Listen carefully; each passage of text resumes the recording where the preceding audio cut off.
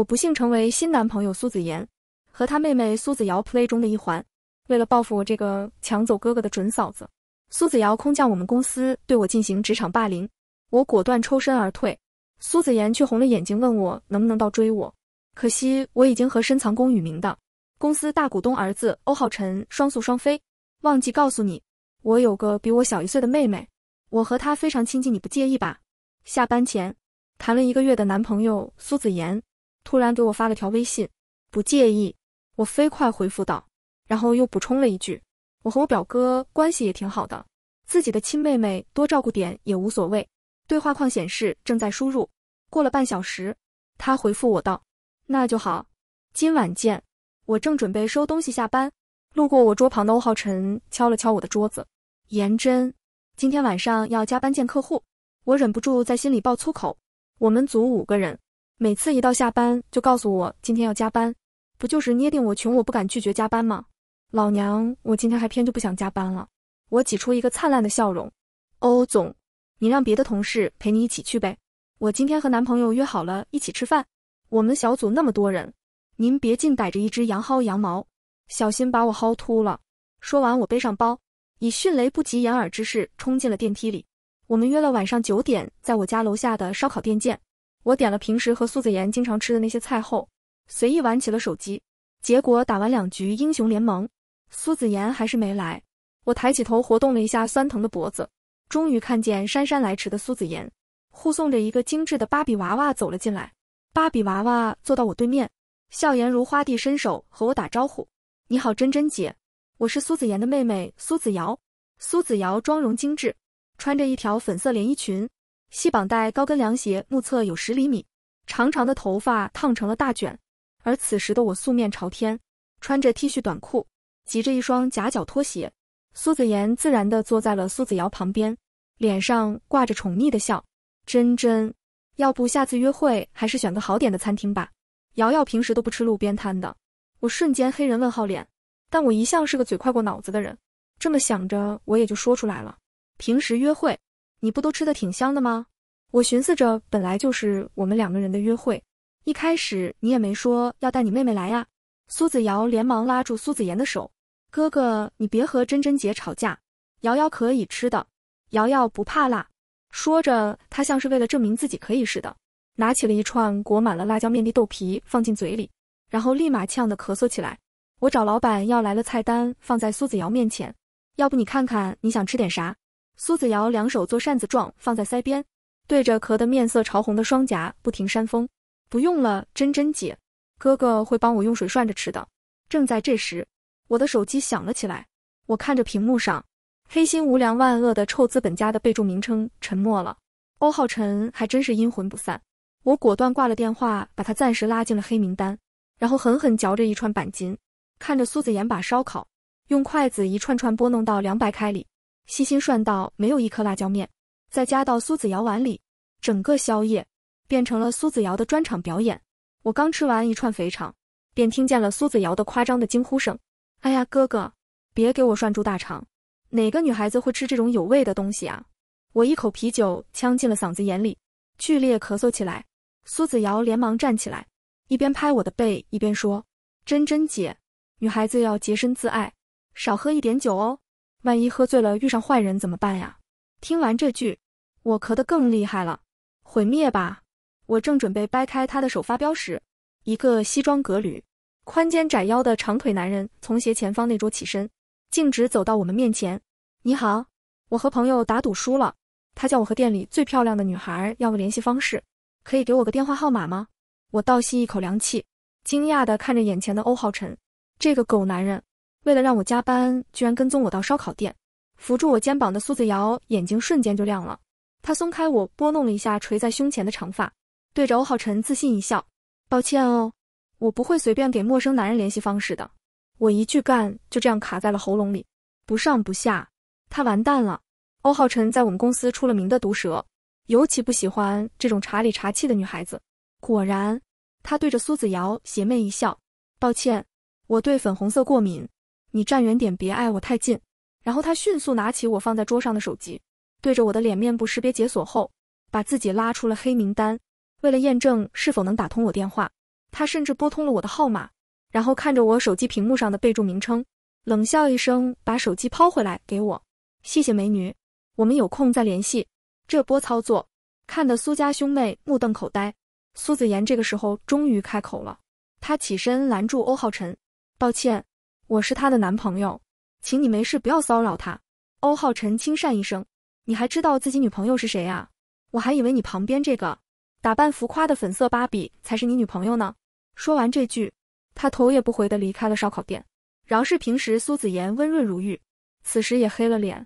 他给苏子瑶披上外衣，犹豫了几秒钟，对我说：“我今天就不送你回家了。”我和瑶瑶先回去了，明天见。我随意摆了摆手，没把他的话当回事，因为我正咬牙切齿盯着欧浩辰发来的信息：“给你十分钟时间结束约会，烧烤店门口见。”走出烧烤店时，欧浩辰一脚油门把车停在了我面前。他打开窗台，下巴微微扬起，命令我道：“上车。”客户已经到会所了。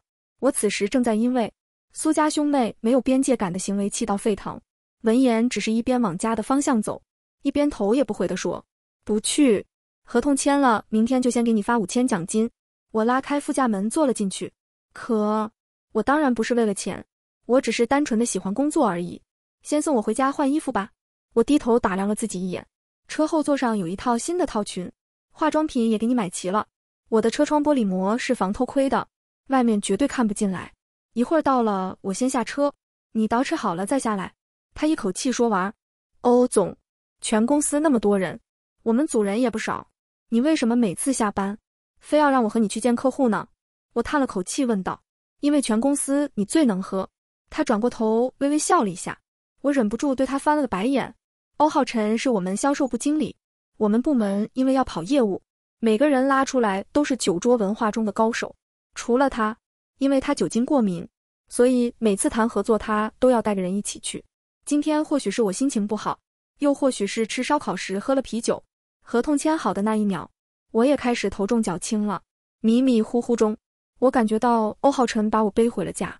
他熟练地输入密码，然后把我轻轻放在床上，像以前我每次喝醉时那样，给我煮了解酒茶放在床边。失去意识前，我似乎听见他小声的嘀咕声：“颜真，其实除了奖金，我还有个惊喜要给你。可惜我正准备问是什么惊喜。”脑子就先挂机了。第二天醒过来时，头疼欲裂，但想到我早就和苏子言约好，要一起去看最新上映的喜剧电影，我还是挣扎着爬起来开始洗澡化妆。坐地铁时，我无聊地刷起了朋友圈，新添加的好友苏子瑶不知道是什么时候拍了一张我们三个的合照，并配文：“新嫂嫂是个大美女哦。”我点开那张照片，刻意找好角度还 P.S 过图片的苏子瑶很漂亮。低着头端着茶杯的苏子言很精致，只有我，因为不知道苏子瑶在偷拍，塞了满嘴的五花肉，正在大嚼特嚼，嘴角还有一点油花。我深呼吸了几口气，还是咬咬牙给他点了个赞。半小时后，我收到了他对所有人的回复：别瞎说了，我怎么可能比我嫂子更漂亮？不信你们艾特我哥。没几分钟，苏子妍在下面留言：颜真非常可爱。但瑶瑶在我心里永远是最好看的。我怒气冲冲打电话给苏子妍，质问的话还没有说出口，他就先我一步说：“抱歉，真真，今早太忙了，忘记给你打电话了。昨天瑶瑶吃坏了肚子，现在我陪她在医院里打点滴呢。电影我们改天再去看吧。”我的满腔怒意就像打在了棉花上，疲软无力起来。哥哥，我的手有点痛，你快看看点滴是不是打漏了。苏子瑶的声音从电话那边传来，我飞快挂断了电话，仿佛这样就能证明自己不是再次被丢下的那一个。正在这时，电话又响了起来，我以为是苏子言打过来的，急忙按下接听。今天有空吗？到公司来一趟。欧浩辰的声音冷冰冰的从对面传来。我深吸一口气，欧总，今天是周六。我入职的时候，人事那边告诉我公司是双休的，结果呢，这个月一共三十天。我已经连续上了二十九天的班了，就这一天都不能让我休息一下吗？压榨员工也不是这样压榨的吧？我不干了，我辞职。欧浩辰的电话就像压死骆驼的最后一根稻草。我越说越气，眼泪止不住的涌出眼眶。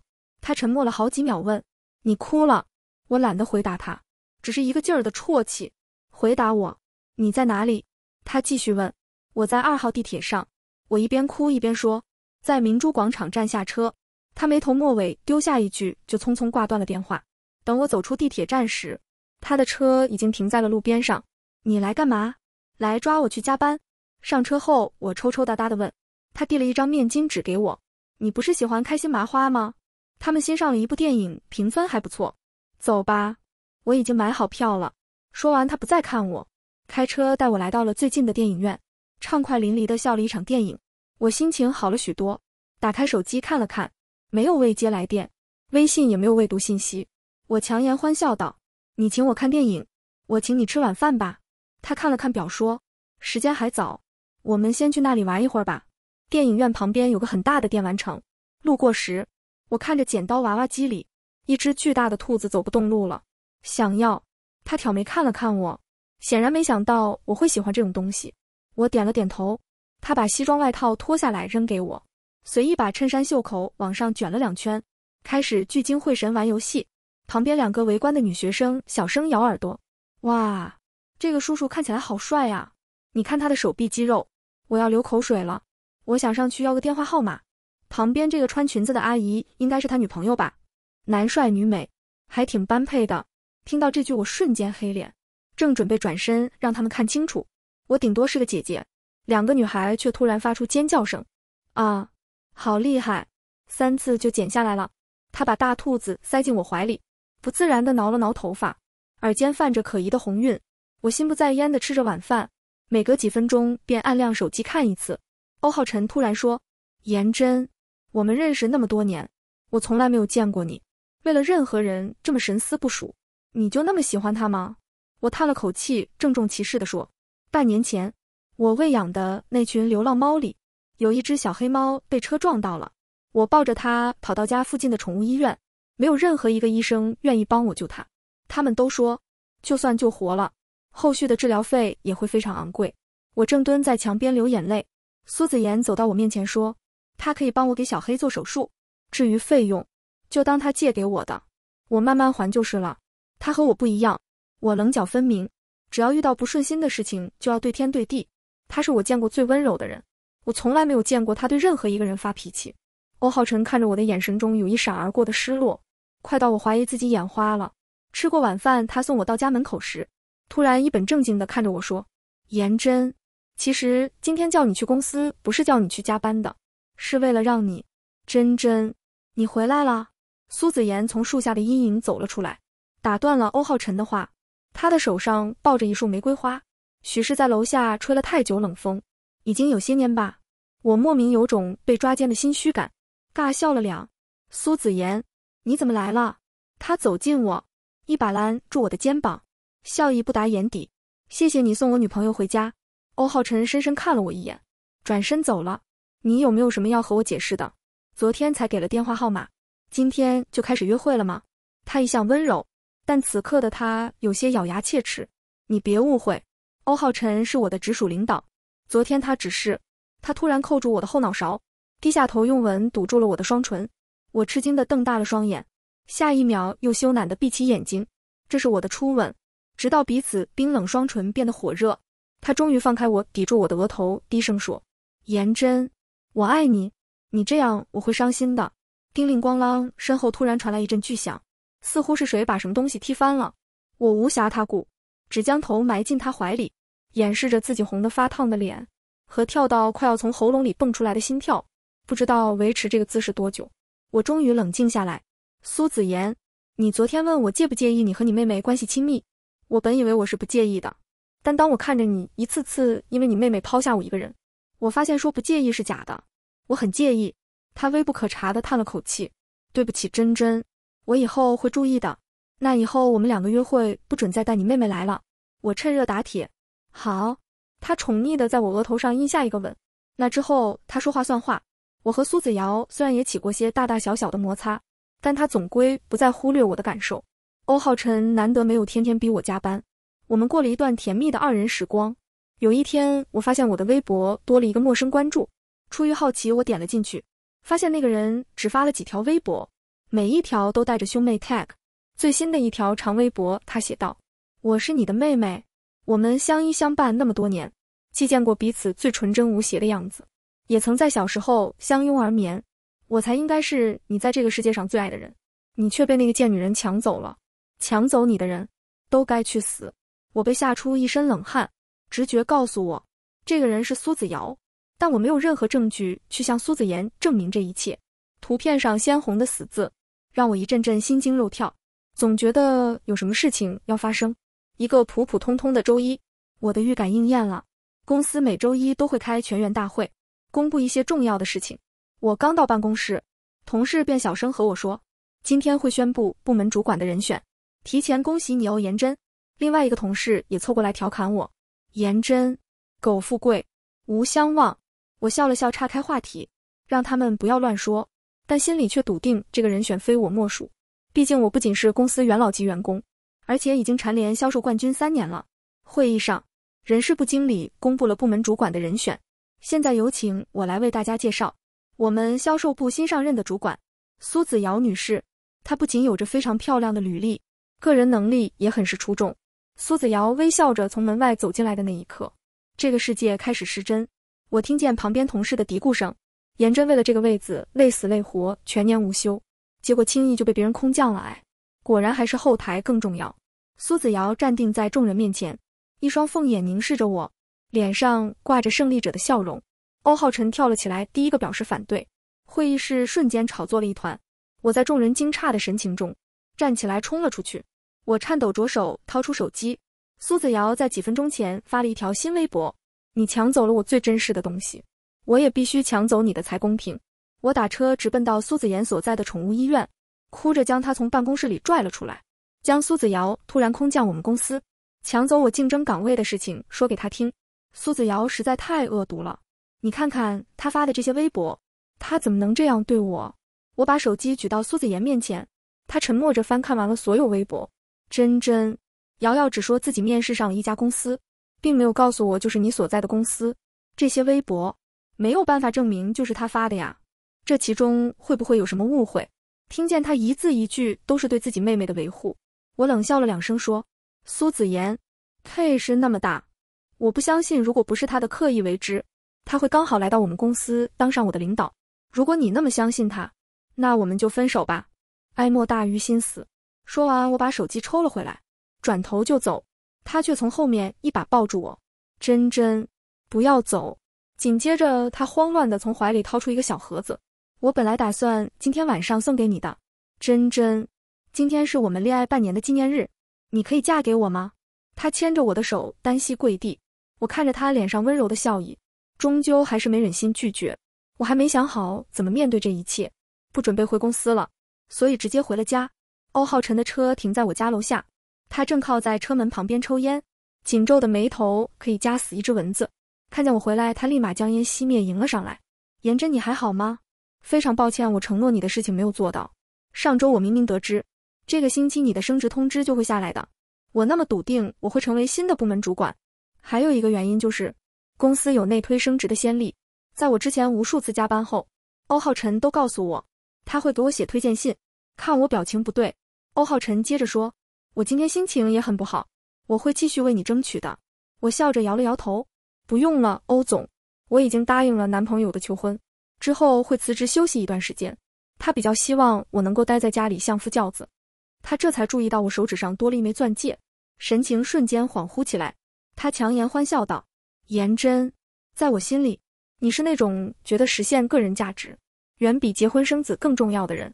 可是现实为我上了狠狠一课，资本家永远不会员工当人看。”我耸了耸肩，绕过他走进了楼道。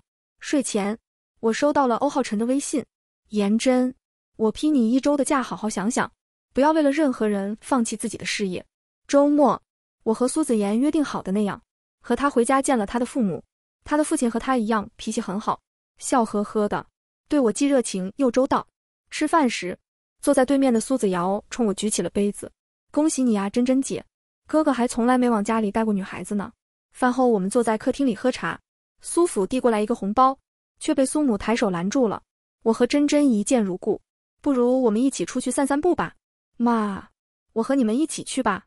苏子言起身和我们一起往外走，苏母笑了笑：“干嘛？难道你怕妈妈欺负你的小女朋友不成？苏子妍脸一红，这才坐回了沙发上。走出大门，苏母脸上挂着的笑容收了起来。颜真小姐，听子瑶说你父母离异了，又各自婚嫁了。我们家比较传统，不太能接受家庭情况复杂的女孩。我沉默了两秒，问阿姨：“恕我冒昧问一下，是你们家不能接受，还是你不能接受？”她没有想到我会那么直接，微微愣了一下，语气更冷了。有什么区别吗，颜真小姐？总之，我不同意你和子妍结婚。我没有和苏子妍打招呼，就自己先回去了。其实我并不在乎苏母的态度，我更在乎苏子妍的态度。原本筹划好的订婚宴，因为苏母一直称病，延期了又延期。我渐渐意识到，婚姻并不能成为我的避风港。苏子妍也并没有我想象中那么爱我。我为公司奉献了无数时间和精力，就算要离开公司，我也需要争取利益最大化。在没有找到合适工作之前，我都会留在公司。看我没有主动辞职，苏子瑶开始想尽办法打压我，我的日子越发难过起来。他声称我之所以能够一直是销冠，主要原因在于公司把大单子都交给我做，这种资源分配的方式对其他人来说不公平。我手里的单子被他分了出去，我手把手教的徒弟也成了他针对的对象。没过一个月就顶不住压力辞职了，我忍不住和苏子妍抱怨。他一脸无奈地看着我说：“真真，我妹妹从小被宠坏了，所以做事情有些自我，但她没有什么坏心思的。以后我们还要成为一家人，你能像我一样多包容她一点吗？”原来在他眼里，苏子瑶的恶意满满，只是被宠坏了而已。我摇了摇头，不再和他多说一句工作上的事情。我的业绩大幅度下滑，工资也开始严重缩水。一天下班后，苏子瑶走到我桌边，命令道。今天晚上陪我去见个客户，似是看出来我要拒绝。他挑了挑眉说：“你一直觉得我在打压你，这是公司今年最大的一个单子，你敢不敢接？”我强忍住胃里的翻江倒海，点头应下了。饭桌上，苏子瑶看着我一杯杯酒下肚，只是挂着浅笑坐在一边。我胃里一阵绞痛，冷汗打湿了刘海。我伸手捂住肚子，看着对方再次递过来的酒杯，微微摇头：“谢总好酒量。”这单成交了，以后我单独再请您出来喝一顿。今天我是真不舒服。对方却不依不饶，把酒杯塞到我手里，另一只手还暗戳戳往我大腿上放。正在这时，包间门砰的一声被撞开了，欧浩辰拉住我的胳膊，把我拽起来。走了，颜真，一个小单子而已，犯不着那么卖命。苏子瑶起身拦住他，介绍道：“这是我们销售部的经理欧总。”对方立马递过来一杯酒。并勾住他的肩膀，企图与他称兄道弟。老弟，我们一起喝一杯。干了这杯，我立马签合同。欧浩辰接过他手里的酒杯，冷笑一声，对着墙角摔了过去。想和我喝酒？你不配。我和苏子瑶同时进了医院。我是因为胃穿孔，苏子瑶是因为被溅起来的碎玻璃划伤了脚背。苏子妍冲到医院，第一时间去看了苏子瑶，确定她无事后，才来到了我的病房。他推开门，质问守在我床边的欧浩辰：“哦，先生，作为一名男士，就算对方有些过分，你不觉得你的做法有失风度吗？”正在给我搅蜂蜜水的欧浩辰起身，走到他面前，居高临下的看着他：“作为颜真的男朋友，你不觉得你偏心的有点离谱吗？自己的女朋友被自己的妹妹欺负成这样，你都看不见，你眼睛瞎了吗？”两人剑拔弩张，我抬手拽了拽欧浩辰的手袖。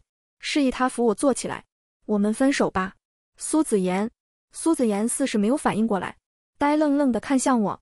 在他眼里，我这个倒追他半年，赶都赶不走的女孩子，大概是被他吃定了。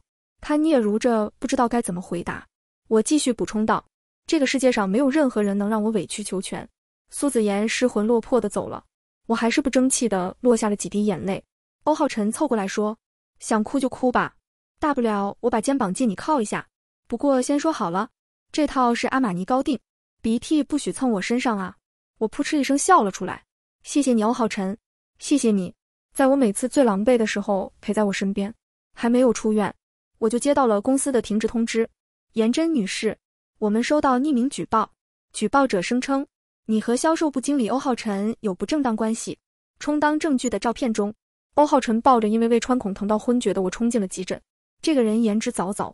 我之所以弄砸了那么大的单子都没被开除，就是因为有欧浩辰在背后给我撑腰。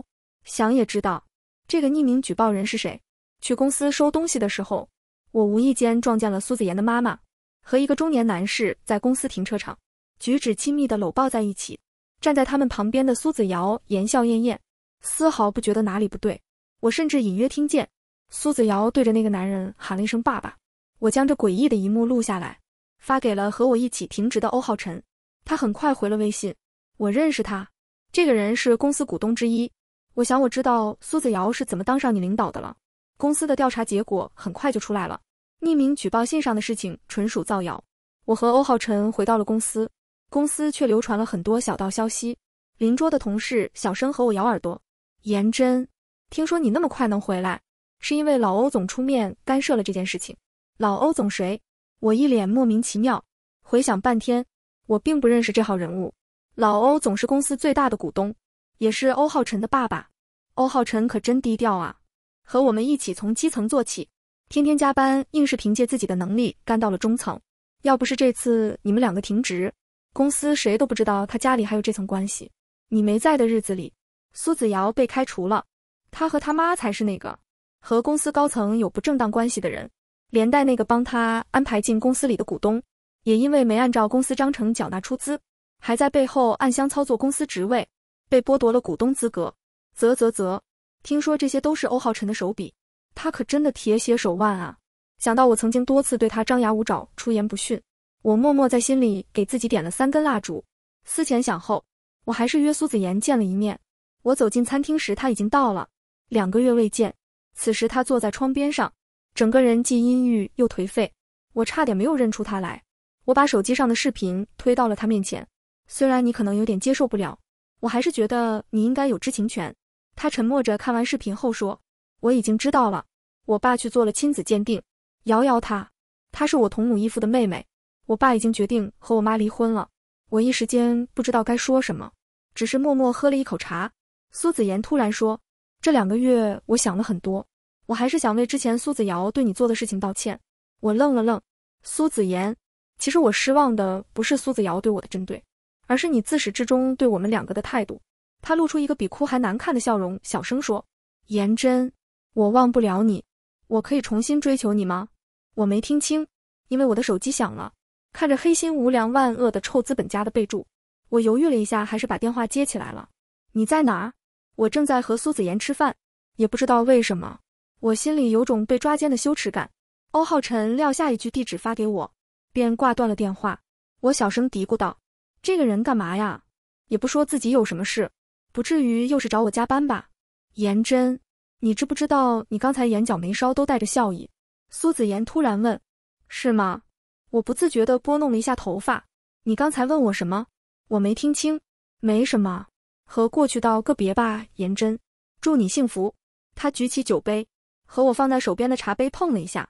接到我后，欧浩辰一言不发，紧紧抿着的嘴角，一看就知道是生气了。我几次想要开口。都被他满脸的冷峻劝退了。万一他不是因为我想的那个原因生气，我解释起来岂不是很多余？把我送到家门口后，他一脚油门就离开了。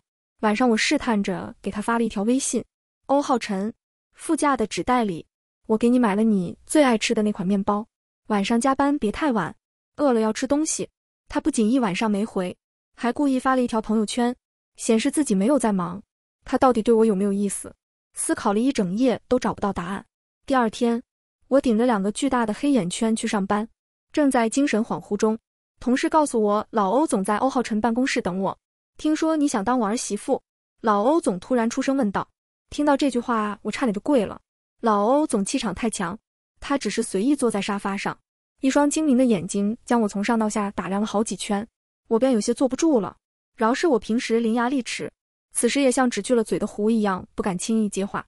欧浩辰先急了，他满脸通红，跳起来：“爸，那封匿名信明晃晃是在诬陷，分明是有人嫉妒颜真的业务能力，所以在背后诋毁他。况且事情我也已经查清楚了，难道你要为了公司那个不允许办公室恋情的破规定，开除一个元老级员工吗？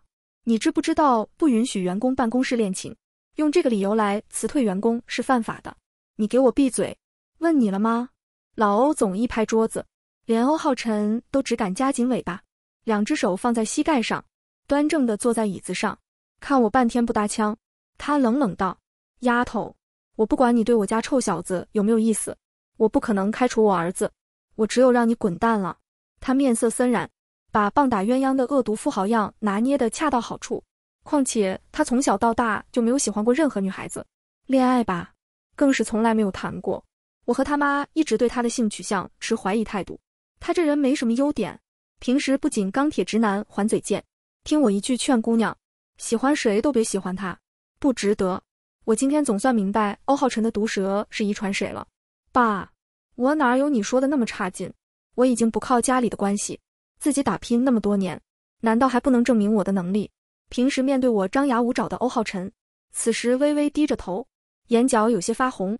我突然生出了几丝不忍心，心口还有些酸酸疼疼的感觉。想到他平时对我的照顾。我鼓足勇气握住他的手，说：“叔叔，你别这样埋汰他。他虽然嘴贱了一些，但只要认定一个人，就恨不得把心都掏出来给他看。我确实喜欢他，你要开除就开除我吧，反正我会想办法当上你儿媳妇的。当然，后半句我只敢在心里小声避避。哈哈哈哈！他突然大笑起来，听见了没，孩子他妈，你这不开窍的傻儿子，终于要有女朋友了。你赌输了，周末我不陪你逛街了。”我要去钓鱼，我们这才发现，他一直和欧浩辰的妈妈连着视频。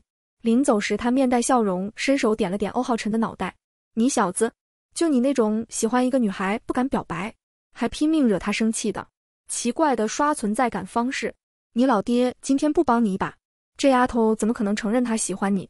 欧浩辰被喜悦冲昏了头脑，傻乎乎的问：“那这么说，你同意我们在一起了？”老欧总，哦不。我未来的公公瞅了他一眼，你说呢？我恨不得放三天鞭炮庆祝你终于找到女朋友了。刚好我正准备把你调到子公司再历练几年，以后好接我的班。今天公司内部就会出调动通知。至于颜真丫头，从今天起就是销售部的部门经理了。谢谢欧总，我立马谄媚的凑到他跟前。他摇了摇头，这是公司董事会一致决定的，和我没什么关系。加油，颜真，你的未来有无限可能。事业爱情双丰收，我忍不住在心里叉腰大笑起来。后来我们举行了盛大的婚礼，老欧总也顺利实现了三年抱两的朴素愿望。顺便一说，婚后欧浩辰很支持我的事业，我也将他黑心无良万恶的臭资本家的备注改成了温柔体贴细心的亲亲老公。我这才知道，原来遇到对的人，他会在任何细枝末节给你充足的安全感，帮你抵御人世间的风浪。番外再见，苏子言知道我喜欢猫。婚后，欧浩辰干脆让我把我喂养的所有流浪猫都带回了他的大别墅里。我们本来说好周六一起带猫咪们去宠物医院检查身体、打疫苗，然后一起把它们带回去的。等我赶到医院时，却接到了他的电话：“真真，公司临时有个会需要我参加，你先去吧。我开完会回家给你做晚饭。”我只好一个人带着一群猫去他家旁边的宠物医院。你好，我想给我的猫咪们做一个系统的体检。当我对着前台里低着头的小哥哥说完这句话后，他的身体有一瞬的僵硬。下一秒，他抬起头：“颜真，好久不见。天知道我刻意选了一个离苏子言所在医院非常远的宠物医院，就是为了避免遇见他。”我连忙给我家醋王发了微信：“我在医院遇到苏子言了，怀孕了。是，为什么不告诉他？还没想好要不要。”我和苏子言坐在办公室里，有一搭没一搭聊着天。欧浩辰突然推开门冲了进来，你怀孕了，凭什么不告诉我？他的眼眶微微发红，捏成拳头的双手青筋暴露。那个，我们是在说猫咪。苏子言无语的打断了他。欧浩辰涨红了脸，之后他默默跟在我们旁边，再也不敢多说一句话。体检时，旁边一只大型犬的体味有些大，我瞬间泛起恶心干呕了几下，似乎是想到了某种可能。一直闷闷不乐的欧浩辰抱着我转了好几个圈，我是不是要当爸爸了？真真，我爱你。苏子言脸上挂着浅笑，站在一旁。闻言，他呆愣了片刻，双手插兜，默默离开了，背影看上去很落寞。有些人，错过便是错过了，只会渐行渐远。